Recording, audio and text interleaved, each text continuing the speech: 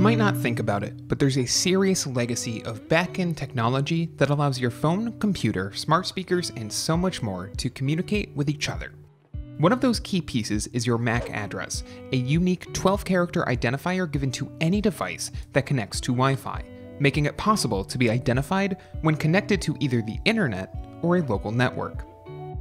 Of course, with data being as easily traceable and accessible as it is these days, you might want to change your Android phone's MAC address if you're worried your home network was vulnerable at some point in the past. The MAC address of your device can easily be searched if someone has gained access to your network, either at home or on a public hotspot you had connected to, so ensuring that your device's MAC address is secure is incredibly important. In order to change your phone's MAC address, you'll need to have root access.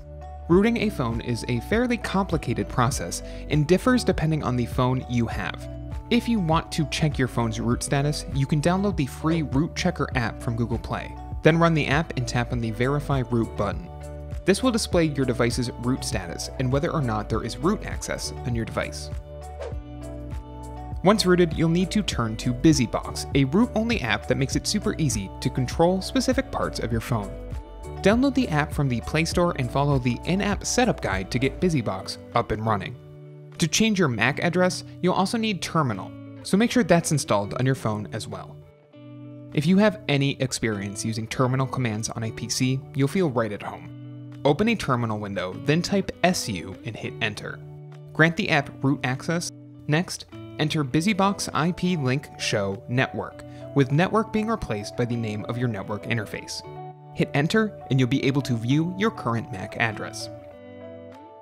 Finally, it's time for the big command.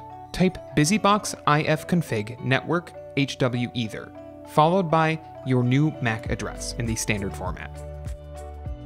Now, it's important that you keep the first three sequences in your MAC address the same, since it refers to your phone's hardware. The final three sequences, however, are up for you to change. If you need help, this MAC address generator allows you to import the first three codes as a prefix, while generating the final three codes as a random MAC address for your phone. Finally, you can use the same IP link command from earlier to confirm your new MAC address. If you liked this guide, make sure you subscribe for all sorts of videos covering Android and other technology. And do not forget to check out one of these videos we think you might enjoy.